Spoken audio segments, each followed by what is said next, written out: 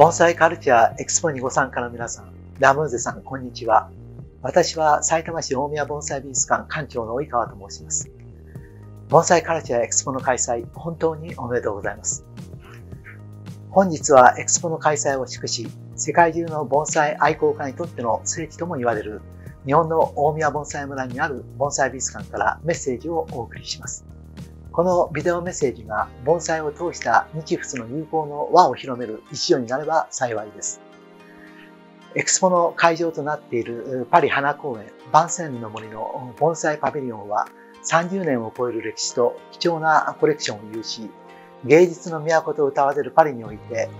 盆栽の文化を発信する大変重要な施設だと思います。当館は日本で唯一の法律盆栽美術館として2010年に開館しました。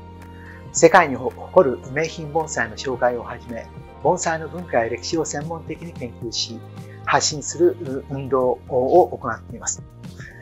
また3年後の2025年は美術館が立地する大宮盆栽村の開村から100周年という記念すべき年となります。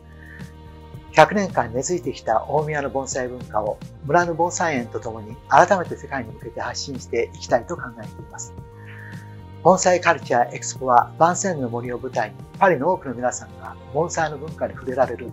日仏の文化交流にとっても大変貴重で盛大なイベントだと思います。どうぞこの機会に生きる芸術として、え国境の壁なく世界中で愛好される盆栽文化に多くの方が親しまれることを期待しています。最後に新型コロナウイルスの影響はまだありますが、安全に来日できる状況になりましたら、ぜひ大宮盆栽村、そして大宮盆栽美術館にもご来館ください。本日はメッセージをお送りする機会をいただき、誠にありがとうございました。